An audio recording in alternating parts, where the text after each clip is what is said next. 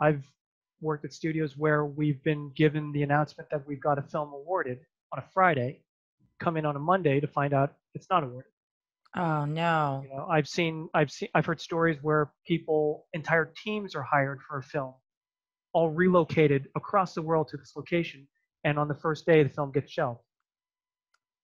You're listening to Art Heroes Podcast, the show to help you thrive as a digital artist. Tune in to learn how to transform your passion into a career. Get inspired by other kick ass 2D and 3D artists and find out what it takes to be an art hero.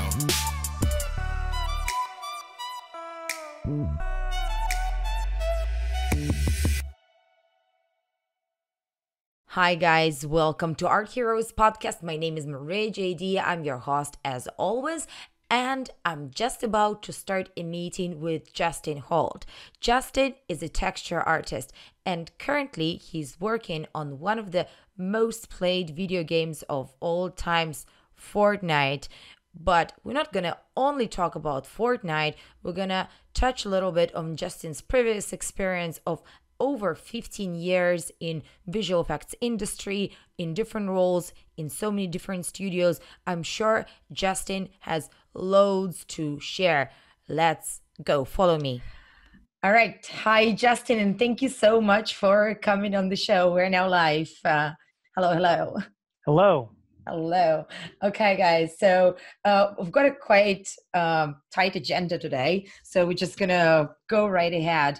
And uh, Justin, maybe we can start with you. So, uh, uh, what do you do now, and uh, what are the recent changes that you've seen? And yeah, just in general, like, go ahead, introduce yourself.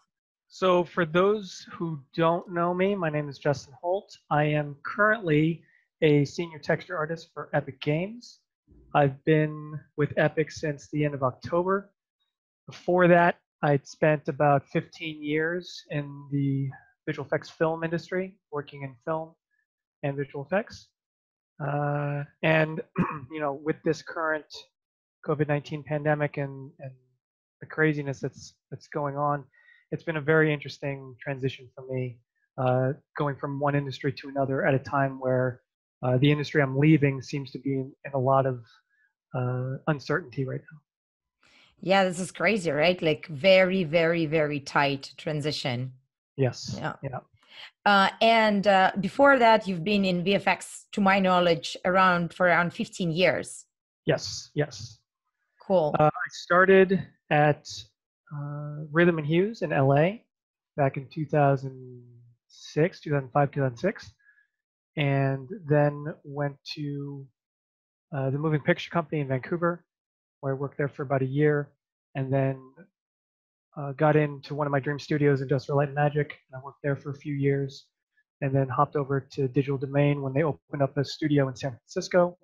Went there for less than a year, and then joined with Image Engine in Vancouver for a few years, uh, onto Sony ImageWorks in Vancouver for a few years, and then most recently Method Studios, uh, where I was there for a few years as well, and then uh, made the transition into gaming.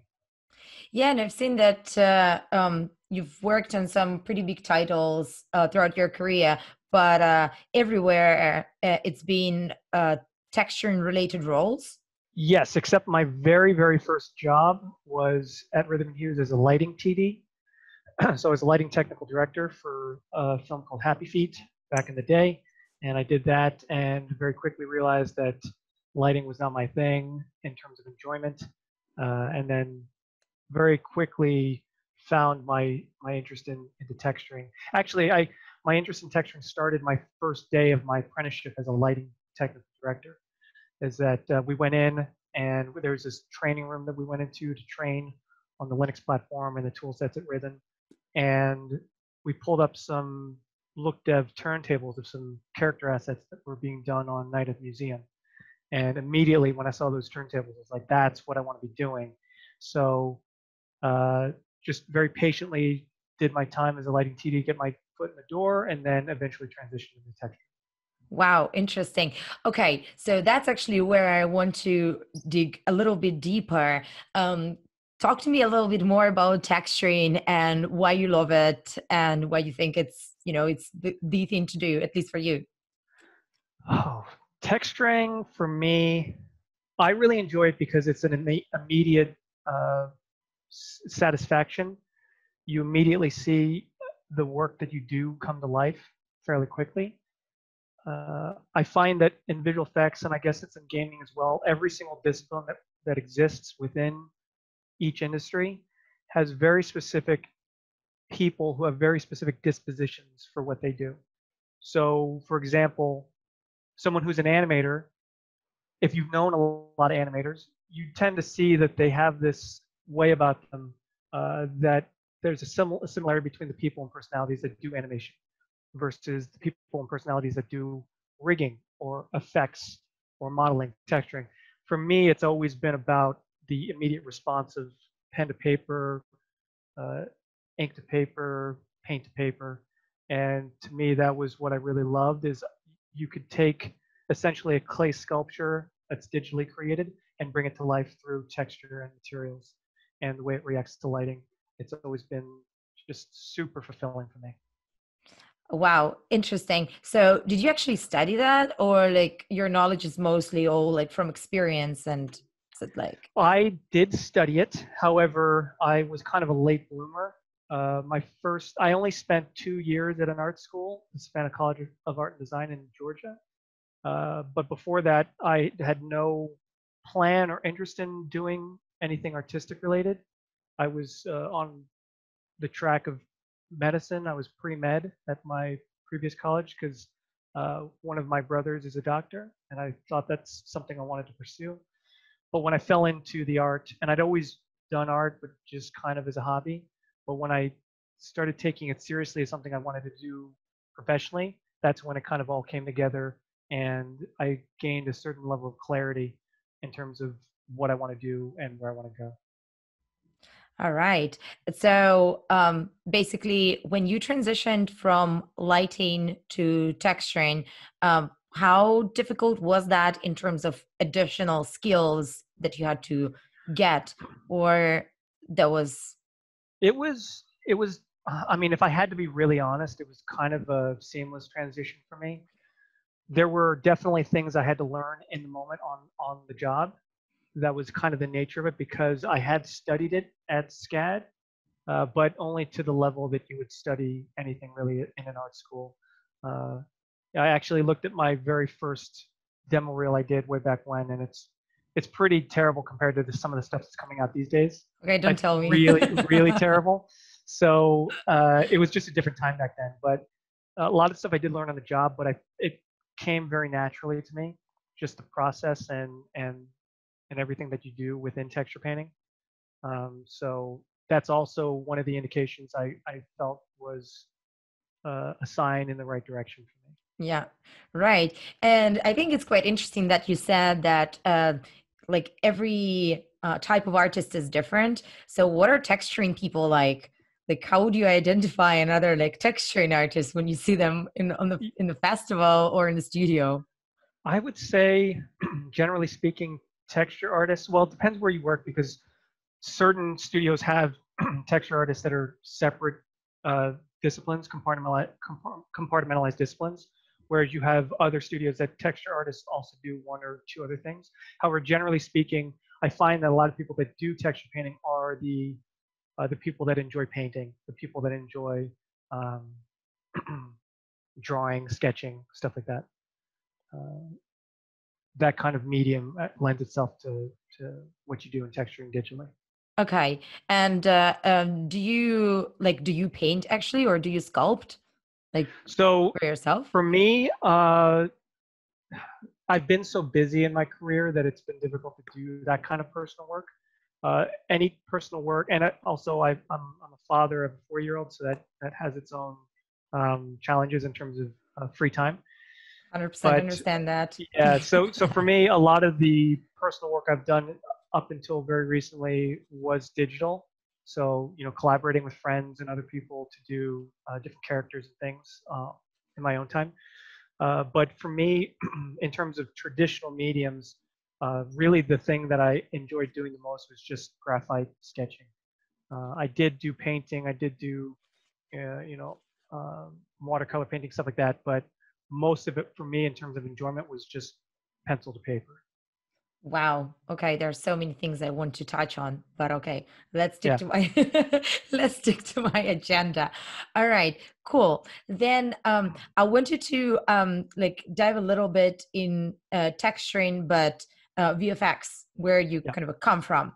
So um to start with, uh do you see there um major, let's say, um differences in between uh, working as a texturing artist in VFX and gaming industry, or is it pretty much the same? It is the same, but it's different. There's a lot of things that cross over in terms of methodology technique.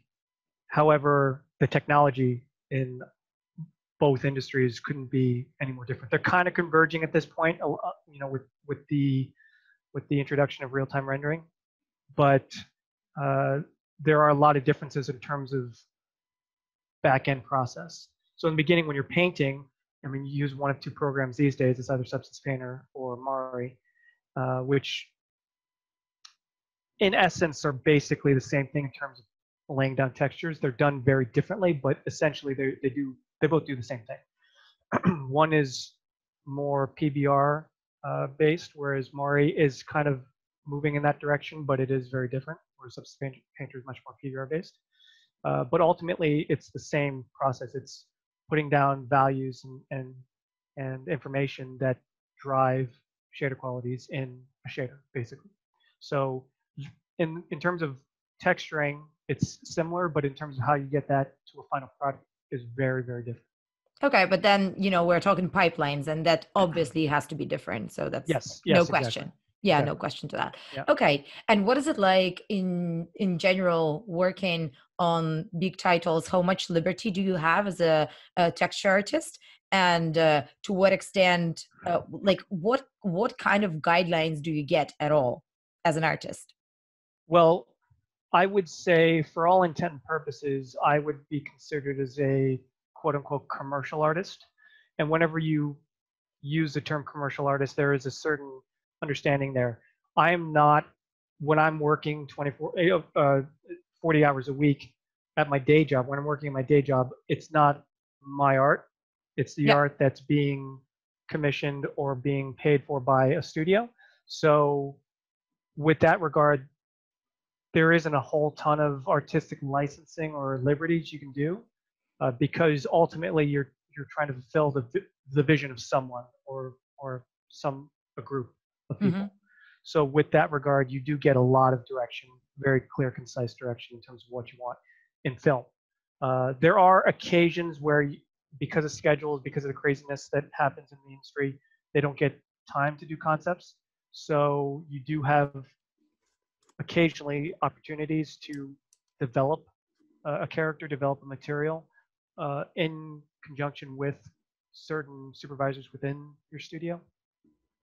And then it also depends on your supervisors on that film. Uh, some give a lot of liberty, less micromanaging, and they allow artists to do their thing because that's what they're paid to do. Whereas other supervisors are a little bit more, uh, you know, play it close to the chest. So a lot of things you can't riff as much uh, on on those shows, on those films with those supervisors. But ultimately, it continually, as every step goes, it continually gets funneled down and focused into a very specific vision. Okay. Yeah, thank you for saying that. I think the notion of commercial artist is very important, specifically to uh, folks out there who are just starting in the industry. Yes, yes, that's one thing I, I try to stress when I was mentoring students at Think Tank Training Center in North Vancouver, uh, is that you have to understand that this is not your artwork. So if you are given a request to do something that you personally disagree with, it's not your place to disagree with it. Uh, for the most part, uh, there are very specific scenarios where you can kind of push the boundaries and limitations. But ultimately, if someone wants it to look pink and you think it should look green, you just got to make it look pink. And I've seen specifically in texture painting where you come from the backgrounds of these people are fine art where they sometimes they have a very difficult time letting go of that uh, because they do view it as their artwork. So when they have someone that is in direct conflict of the vision they have internally, I, I see people struggle with that sometimes. So whenever I can with students, I try to remind them and have them try to be as mindful as possible that all, at the end of the day, you're being paid to do this to fulfill someone else's vision. So that's what you're supposed to be doing. Oh yes, hundred percent. And then, Yeah. well, as an artist, you always have your free time to do whatever you want with your art. Yeah, exactly. Something has to pay the bills. Yeah, yeah. Yeah. And then talking about um, schedules and uh, time frame, um, is there like a standard uh, time that you would be working with a character? So talking about VFX. in film that is entirely dependent on the studio that you work at. So some studios, to be quite honest, schedule no time to do anything. So it's pretty crazy all around. Everything was needs to be done yesterday.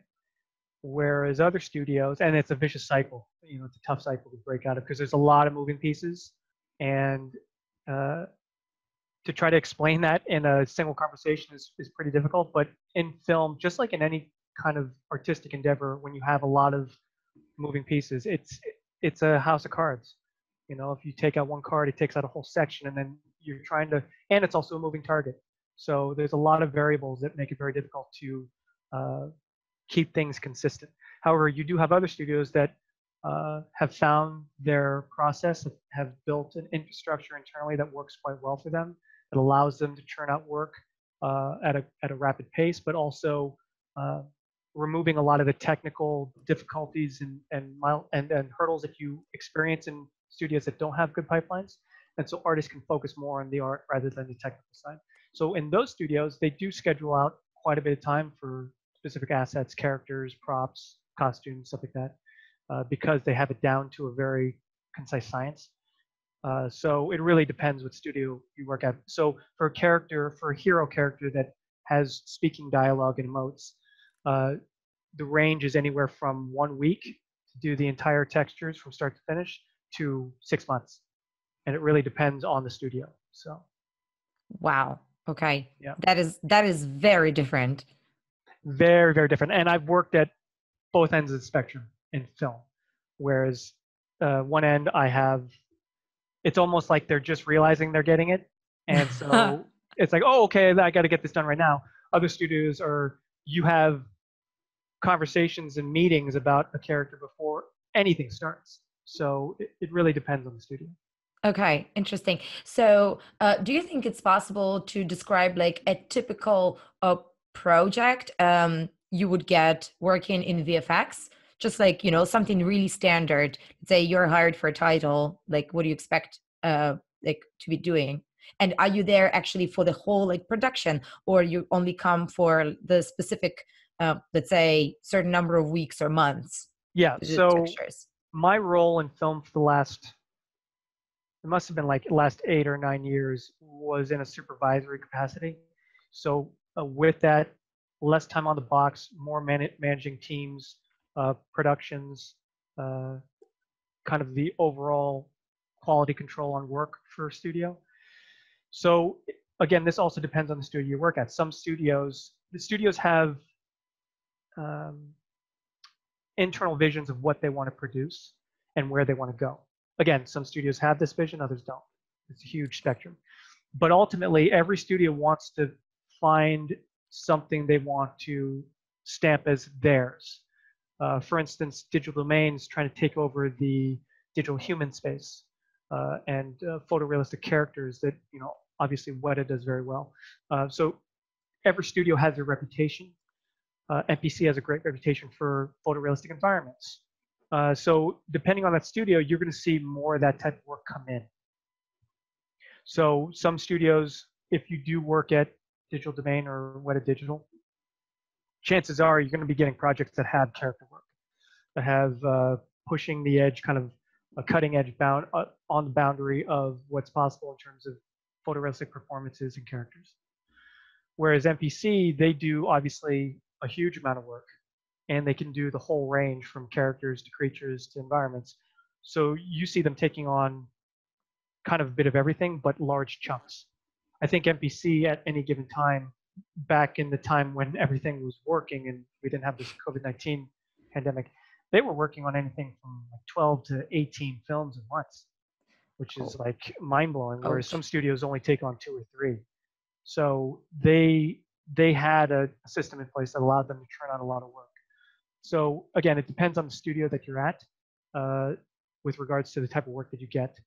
Yeah. Um, but if I were to be very specific, so for instance, my last job at Method Studios, they were at the time I was there, their goal was to take on uh, creature character work, but also environments, which it's difficult um, unless you have proper infrastructure for that because both are so drastically different in terms of development and tools, uh, and you have to sink a lot of R&D into both in order to get to a place where you can produce a mass amount of it at a quality that that matches competitors. Um, but most recently, you'd see a lot of variable in terms of uh, variation in terms of work that they received. Uh, whereas one show is very character creature heavy, whereas another show is just environments. So Yeah. that way they can they can divvy up the employees, the the teams, and schedule them accordingly. So you're not doing things concurrently. Interesting. So, and the supervisor, as a supervisor, as a as a manager, um, would you typically be working with one title specifically, or with the studio and kind of a supervising like uh, a number of different projects, or there'll at be also Met- different? Yeah. So, so at Method, I was responsible for all the text work going through the the studio at all times. Oh, so okay. I was managing anywhere from two to eight. I think at the height, I was managing nine films at once. oh Uh, my God. Yeah, and three of those were Marvel films at the same time, and Marvel films can get pretty crazy. So, uh, at that capacity, I'm working with productions, making sure everybody has what they need to a degree. You can't please everybody all the time. So, making sure that uh, deadlines are being met, making sure that work is looking good coming out of the tech department, liaisoning with modeling department, with the look dev department, with lighting, with rigging, uh, just to make sure that everything's working accordingly. And if anything isn't working, then it comes to me. I also make sure that I have a, a, a delegation of leads on each show, so I'm not literally putting out fires on every show all the time, whereas leads are doing that. And if they have an issue and they can't figure it, then they come bump it up to me, and then I look at it as well. Uh, on top of that, I'm also recruiting and also scheduling bidding work for each film and films that are coming in that we're expecting to come in. So it, it was kind of like a every day was different, and every day had its its. Uh, That sounds insane. That sounds Yeah. insane. Yeah. And so, um, junior texture artists, or let's say uh, mid range, um, they would be coming uh, in like in the case of VFX, they would be coming per project, or um, do you see the trend of employing people more of a full time? So my personal opinion is that you can't have a team. So if I were to specifically just focus on the texture department, uh, because at the very end at Method, I was also in charge of modeling and look development. Look development, so I was in charge of three departments. But for just for texturing specifically, uh, I'm a firm believer that you have to have a, a balanced ecosystem. You can't have a team of all juniors. You can't have a team of all seniors, and you can't have a team of all mid-range people. You have to have a balanced ecosystem. So uh, no matter what type of work comes in, you can facilitate that and keep everybody happy. But more importantly, keep everybody moving forward, keeping everybody progressing in their personal careers. that was also a tricky thing as a supervisor. Is on top of everything that I just mentioned, I'm also responsible for making sure that people feel like they're getting to where they want to go. Because if they don't feel that, then they leave. And it's very important to keep retention uh, of artists, especially good artists. And there's a range of juniors, mids, and seniors in terms of uh, there's a junior, like entry level junior, but then there's also really strong juniors, what I would personally call rock star juniors, where they're still a junior because they're new to the industry, but they're doing work that easily could be a mid level artist. And then the same goes for mid level artists. There's some rock star mid level artists that are taking on senior level work. So with a balanced ecosystem, you can spread out all the roles and responsibilities of texture tasks uh, easily. Whereas if you had a team of all seniors, guess what? You're going to have to try to satisfy an entire team of seniors, which is impossible because there will ultimately be busy work and grunt work that needs to be done. So either I take it on myself personally because I don't want to burden a senior with it and risk them leaving, or uh, you have to ask a senior to do it and explain to them that this is only temporary. We're getting you onto something interesting next time. So it, it's a balancing act, and trying to find that Goldilocks area is very challenging. I love that. And I, I, I, absolutely agree with you that team dynamics is very important. And it's not only about like delivering the project, it's actually about like also thinking in the future. Think yes. it works across industries. So um, uh, one question here who are the rockstar juniors and what actually makes them rockstar is it the famous 10k hours or why do you think they're different like the prodigies um it's a good question i think the way I, i've explained it in the past is that there are i think okay the easiest way for me to do it is is related to something that I had a strong passion for growing up. I was uh, obsessed with basketball. I played basketball 24 7 growing up. So if I were to use basketball as an analogy, there are basketball players and then there are the greats, you know, Michael Jordan, LeBron James. You have people that can play basketball. They do it proficiently. They do it well. They get the job done. But then you have other people that do it with what I call flair. And it's the flair that you can't teach. You can't it's it's just something that people possess. They either have it or they don't. Uh, and it's those people with the flair uh, that I've noticed even in school when they're still in school studying. Uh, that I know for a fact, oh, these guys will be fine. They're going to go on to very successful careers because they have an ability to uh, elevate the work to a level that, again, it's difficult to teach. Uh, you can give someone step-by-step instructions, and I have on how to do something, uh, and you give those same instructions to two different people, one person with flair, one person without. The person without will do it well and it looks good, but the person with flair does it in a way that elicits an emotional response, just like any good artwork. You see it and you're like, wow, that's really, like you kind of have to look at it for a second. Like, man, that's really good. It like that it surprises you. Um, and to me, that's the difference between a rock star junior and a and a, a proficient junior is that the person has an understanding on how to take it to a level that is beyond polished. It starts entering the world of of intrigue. Like people start asking questions when they start looking at it, or they start relating it back to things they know. Um, and that's what the great texture artists that I've worked with can do is they they it stops becoming texture work and it starts becoming a story. And that's that's the difference to me. Interesting. I absolutely love that how you linked it with a story because i absolutely agree that uh, there is a story behind every character and texture is uh, probably one of those things that actually creates the story know gives this the feeling and yeah. emotion behind it. Look development does and modeling does in terms of asset work. But uh, a lot of it, I mean, it's all intertwined, right? So yeah. you can't have good textures without yeah, on the really crappy character. Yeah, and you can't have good look dev without good texture. So it's kind of all connected. 100%. But there is a story behind every aspect, and when it's lacking, like you kind of you kind of feel it. Absolutely. Even as a consumer, as an you know, consumer. Yeah, a- and and these days, consumers and audiences they're much more savvy than they were even 10 years ago in terms of what is photorealistic and what is believable and what isn't uh, because the boundaries are being pushed on a consistent basis. So uh, it's a it's an ever evolving challenge to continually try to entertain and and bedazzle audiences with visuals that take them out of reality and and and immerse them into these fantasies, into these stories and these these world stories. We'll go back to this in a second, but before I forget, like one last thing that I wanted to ask about uh, the uh, VFX industry um, is the notion that it has really pretty bad reputation for short projects, and that mm-hmm. at certain times artists join a project and probably it's like really well paid because but then the project is over and you're by yourself again so um, do you agree that it is still true or that's maybe something from like five years ago and not lo- longer valid No, no, no. It, it's it's a volatile industry. I, I'm not going to sugarcoat that because of the nature of the schedules, the ebbs and flows of the industry. You'll see a lot of feast or famine uh, scenarios in a given calendar year. So summers are typically slow, winters are typically slow in terms of work, but then in the falls and the springs, it's it's abundance.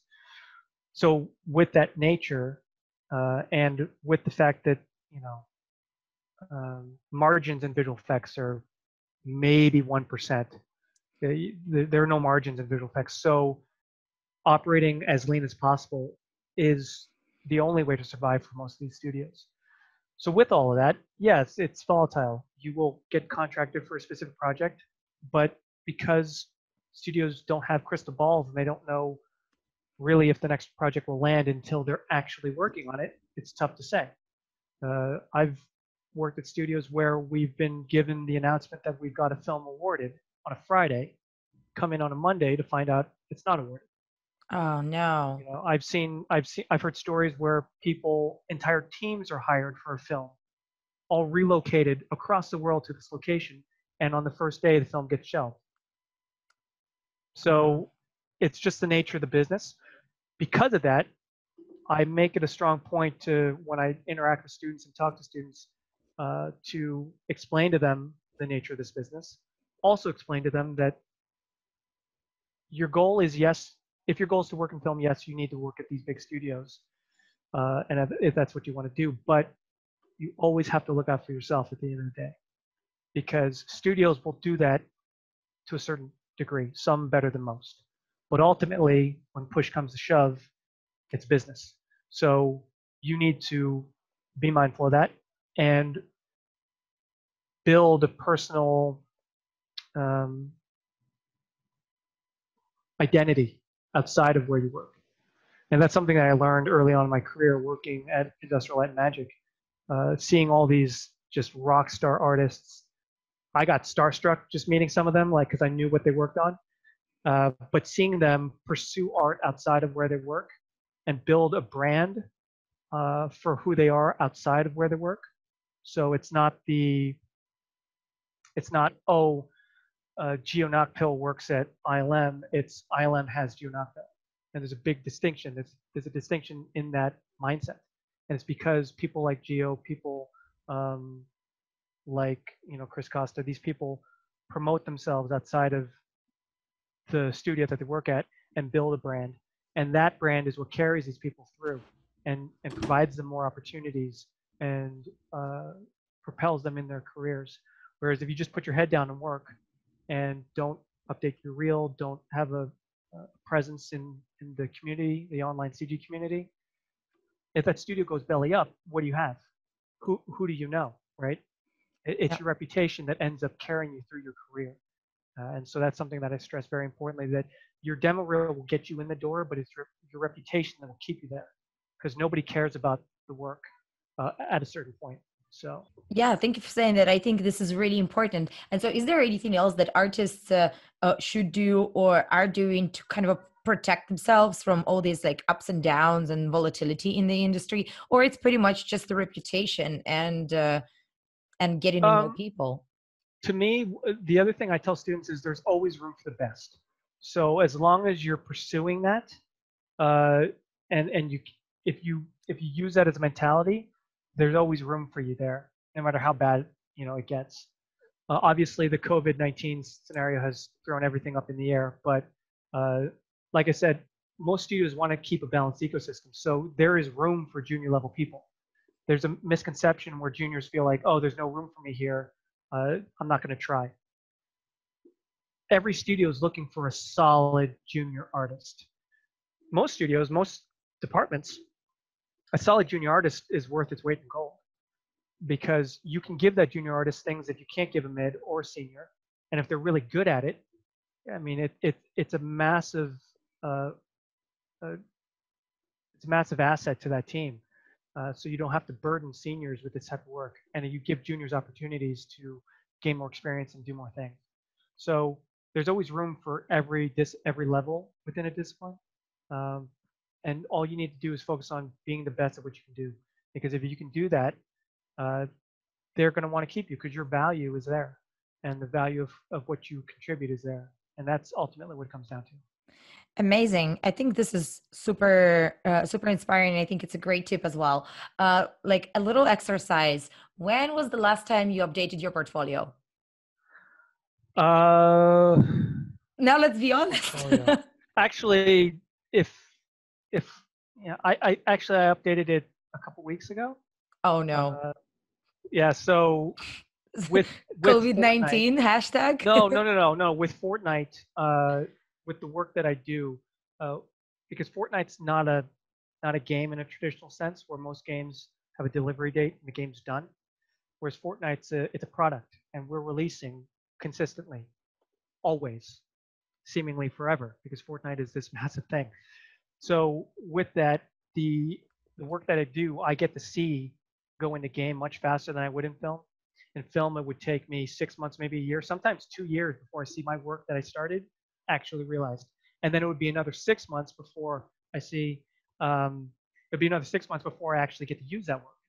So for me, in gaming, the turnaround is much faster. So what I like to do is, like I said before, keeping your stuff relevant. Uh, I like to update my portfolio on ArtStation. I like to update my website with work that I'm doing. Uh, and so, yeah, technically, I updated it like last week because I had. Yeah, I've seen the three the three characters. I think there are three, right, on your website. Yeah, there are three that have been posted. Yeah. Okay, cool. And that finally brings us to the Fortnite and uh, and your recent change. So um, before we go into details, tell me a little bit why you actually decided to go from VFX to gaming because that's uh, kind of the opposite of what most people do. Yeah. So if you were to ask me, if you would have asked me in September of last year if I would ever consider going to gaming, I would have laughed at you. I'm like, no. because I love what I do. I love working in film. I love working in movies. Movies are a, a great passion of mine. I love film. I love the medium. I love the storytelling.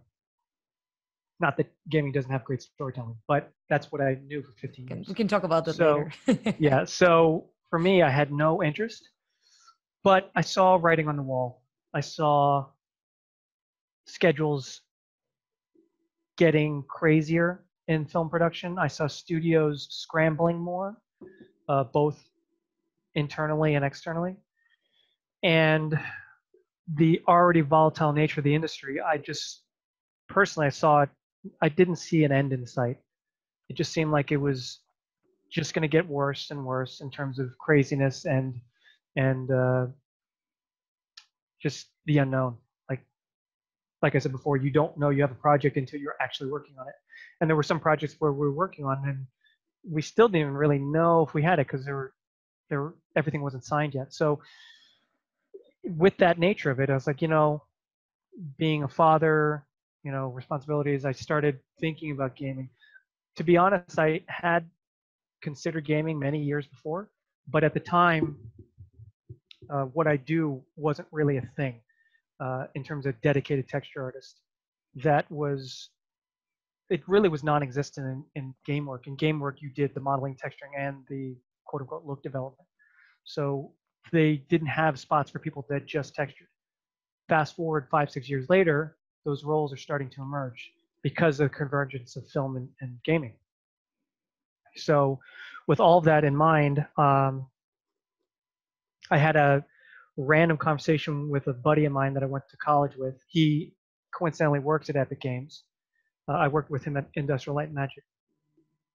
And ever since he joined Epic, he joined a while ago, he was just raving about it, everything about it, and raving about gaming and real time rendering. And so it was just kind of this perfect moment where it just I had an epiphany and I felt this intense need to pursue this seriously because before it was very casual. You know, I, I, had several interviews with gaming studios, but I didn't take it entirely seriously, if I had to be honest, just because I never imagined myself working games because I don't really play video games, right? I did when I was a kid, but I wouldn't call myself a gamer. So uh, from that conversation with my friend, I, I reached out to another person I, I knew at Epic, and they got me in touch with recruiters and then started the conversation. And then it just kind of organically evolved into serious conversations and a serious interview process and a serious test that I had to do. Uh, and I started slowly evolving my mentality to the point where towards the end of the interview process, all I was thinking about was I have to get, I have to work at Epic. Wow. I, ha- I have to work here because everybody that I've talked to, everything that I've seen, this is it. This is the company that is 10, 10 steps ahead. Uh, whereas in film work, you're always playing catch up. You're always trying to trying to get ahead of the curve, but just not quite. Whereas Epic, they're they're like they're playing a different sport at this point in terms of where they're going. And to me, that is the key. And I had that epiphany because, you know, in film, there are very few studios that are truly innovating. In my opinion, there are only two studios right now truly innovating, and that would be Digital Domain and Weta Digital. Uh, MPC has done some really interesting advancements in visual effects, but DD and Weta are are stepping outside of the box and trying to think of it beyond just film and thinking about you know what visual effects means as a as a medium in general. And that's pushing boundaries whereas epic is doing that thing. And i knew i'm not going to be working at dd and i'm not going to be working at weta. So i had this epiphany that if i'm not working in those two studios i don't feel i feel like my time in visual effects has come to a close and i need to pursue something different. Uh, and that's when i focused all my energy in trying to get into epic. So I was beyond excited uh, to get in. The last time I felt this excited was when I got the acceptance from ILM. And then before that, I got the acceptance of Weta Digital, uh, which I didn't end up going for other reasons. But uh, yeah, extremely happy with the transition. Amazing. So, well, congrats then. I mean, it's a Thank late you. congrats, but still. Um, so uh, I I love how you mentioned that uh, um, Epic are really innovative. I can't agree more about that. But uh, do you think it has something to do with uh, consumer expectations and with what you mentioned before, with like wanting to see more believable stuff out there, also in video games? Is it this direction? No, because uh, Fortnite has a very specific art- artistic direction, and that that direction evolves. I mean, if you look at season one versus the current season, obviously very different aesthetically, but there is that Fortnite style that uh, Epic is very precious with, and they want to preserve. So, with that regard, there is a boundary that we're trying to maintain, uh, and a limitation that we're trying to uphold uh, to keep Fortnite looking like Fortnite. Uh, not to say that they're not trying to evolve it, but it's there is very specific. Um, it's a very specific style. However, on the other end of the coin, on the opposite side of the coin, you have someone like Tim Sweeney, the uh, the owner of Epic. He is a visionary. He has a very clear vision of where he wants to go, and Fortnite is a stepping stone towards that. I, believe he's talked about this in, in recent conversations in the past year, where uh, we are trying to create something called the metaverse. You know, the the next step in what what the internet could be. Uh, and you you've re- you read about it in science fiction like Ready Player One and stuff like that. Uh, but to have someone at the helm of a company that that has the resources and the talent and the technology to do that is really exciting. Um, even though I'm not personally involved with that endeavor, uh, it's really exciting to be part of a company that is uh, because we all win when we uh, when we break through that that ceiling into something new and something different. Uh, and that's what I've really enjoyed about Epic is is it feels very much like a family in terms of the company, more so than I've felt it pretty much anywhere else I've worked. And that's a testament to the culture of, of Epic and how they've been able to uh, grow that culture and maintain that culture uh, with the people that work work there. Amazing. And so, what do you think makes Fortnite so wildly successful? What do you think makes it like the most playable game, like all times, they say? I I don't know. That's like asking, you know, what is the meaning of life? It, it Yeah, I just know. kind of It was my it- next question. yeah. So I understand that Fortnite existed several years before it became big, and once they introduced the battle royale format. That's when it exploded two or three years ago. And I think it's just that it's the, uh, you know, most games have a format. They have a story. They have a structure. Uh, and there's things you have to do. There's so many different things you have to do in games these days. It gets kind of overwhelming. Whereas with the battle royale format in Fortnite, very simple. You drop into a map, last person standing wins. And it's that simplicity and that direct interaction uh, that I think satisfies a lot of people. For me, I've ever since I joined Epic, obviously I started playing Fortnite, and obviously I got super hooked, and I still am. Uh, but what I love about Fortnite personally for me is it reminds me of the games I used to play when I was a kid. Like my favorite game as a middle school teenager was GoldenEye on the N64. That was like my all-time favorite game. And when I started playing Fortnite, I was like, wow, this feels a lot like GoldenEye. You're just basically running around, firing at people, and last person standing or whatever wins. And it's that simplicity that I think is married with this um, with this ability that Epic has to keep itself relevant in terms of the content they produce and the content they release. Uh, that just has this perfect Goldilocks blend of what people enjoy in terms of gaming entertainment. Do you think there is an end to Fortnite? Do you think at some point they'll be like they'll stop uh, making changes no. to it? No, no, no, because it's it's evolving. We're always evolving it. So really, I think the only end that could come to Fortnite is if everybody decides to stop playing it. To be honest, um, and Epic really spends hard. a great deal of time um, engaging players and making sure that they stay relevant and people stay engaged and interested. So that's and that's really cool to be a part of. You know, in film, you do get a large audience uh, in certain films that I've worked on, but it pales in comparison to the audience that Fortnite receives. Um, it, it's it's almost unfathomable how many people play Fortnite at a given moment and how many people uh, have Fortnite uh, in general. It's just it's pretty crazy. Right. Interesting. And now, like looking at the gaming industry as a whole, you mentioned a few minutes ago that uh, uh, maybe five years ago, um, having a texture artist separately um, in a video game company was something not uh, realistic.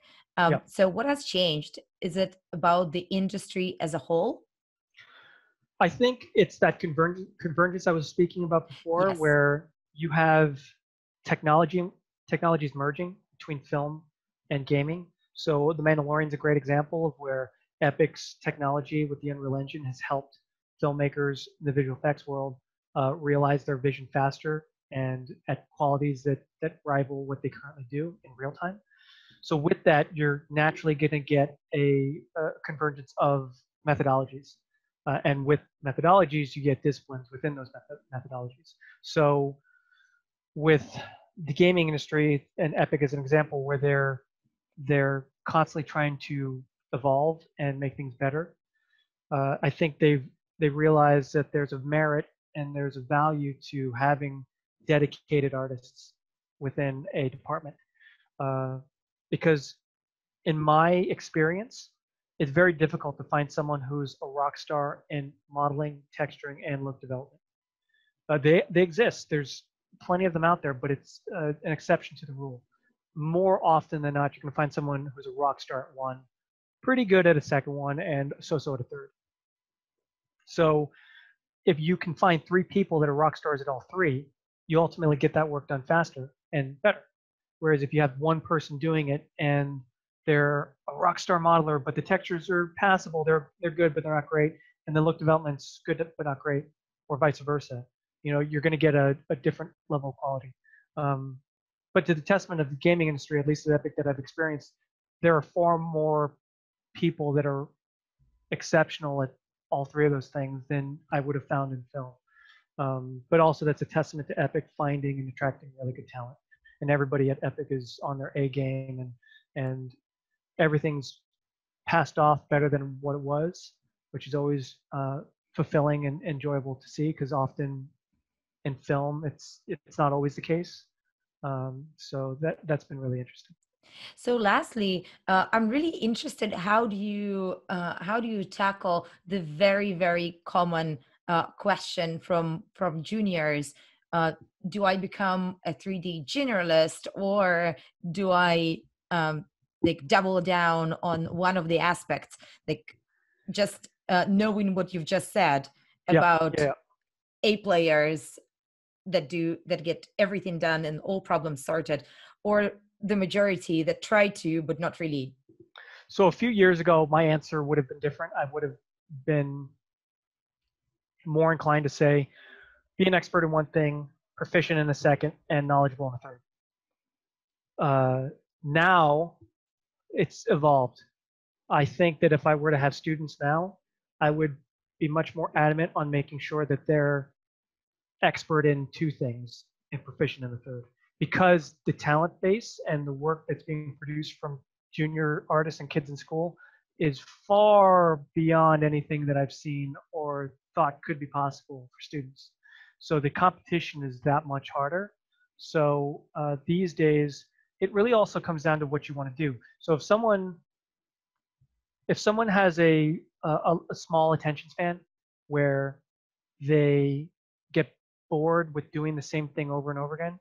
So for me, I could personally, I can eat the same food every single day for the rest of my life. I don't really care. I could listen to the same song and repeat for an entire day. It doesn't bother me. So for me, I'm okay doing one thing all the time. Whereas some people, they can't survive that way. They can't do that. They need to have variety.